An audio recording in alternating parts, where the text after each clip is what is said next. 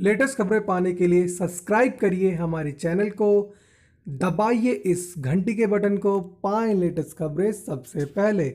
Asia cup, Bharat के busy schedule पर भड़के सहवाग। कहा खेलना ही नहीं चाहिए था। एशिया कप में भारत के लगातार मैच खेले जाने के शेड्यूल पर पूर्व भारतीय खिलाड़ी वीरेंद्र सहवाग ने टिप्पणी की है। उनका मानना है कि भारत के लिए थका देने वाले शेड्यूल के दौरान पाकिस्तान को हराना आसान नहीं होगा। गौरतलब है कि इंग्लैंड के खिलाफ भारत को एक अगस्त से पाँच मैचों की टेस्ट सीरीज़ खेलनी है और उसके बाद सितंबर में एशिया कप खेलना है। एशिया कप में भारत को पाकिस्तान के खिलाफ आराम नहीं दिया गया है।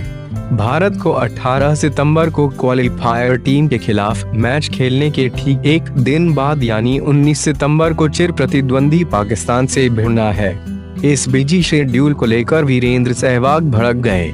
उन्होंने कहा कि लगातार दो दिन दो मैच खेलना भारतीय टीम को थका देगा, जिससे भारतीय टीम के खेल पर असर पड़ेगा। सहवाग ने कहा कि कम से कम एक दिन या दो दिन का आराम देना चाहिए था। सहवाग ने आगे कहा कि दुबई में काफ़ी सख्त धूप होती है, ऐसे में खुद को तरोताजा रखना काफ़ी मुश्किल होगा। लेकिन भार की थकान को देखते हुए हराना आसान नहीं होगा।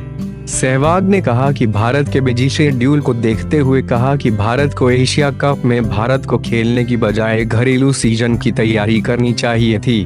ग्रुप स्टेज 15 सितंबर बांग्लादेश वीएस श्रीलंका, दुबई 16 सितंबर पाकिस्तान वीएस क्वालिफायर दुबई 17 सितंबर Sri Lanka VS Afghanistan, Abu Dhabi 18 सितंबर भारत वीएस क्वालिफायर दुबई 19 सितंबर Bharat VS Pakistan, Dubai 20 September Bangladesh VS Afghanistan, Abu Dhabi, super four 21 September group A winner VS group B runner up Dubai 21 September group B winner V S, group B runner up, Abu Dhabi 23 September group A winner VS group B runner up, Dubai 23 September group B winner V S, group B runner up, Abu Dhabi 25 September group A winner V S, group B winner, Dubai 26 September group A runner up VS group B runner up, Abu Dhabi 28 सितंबर final, Abu Dhabi.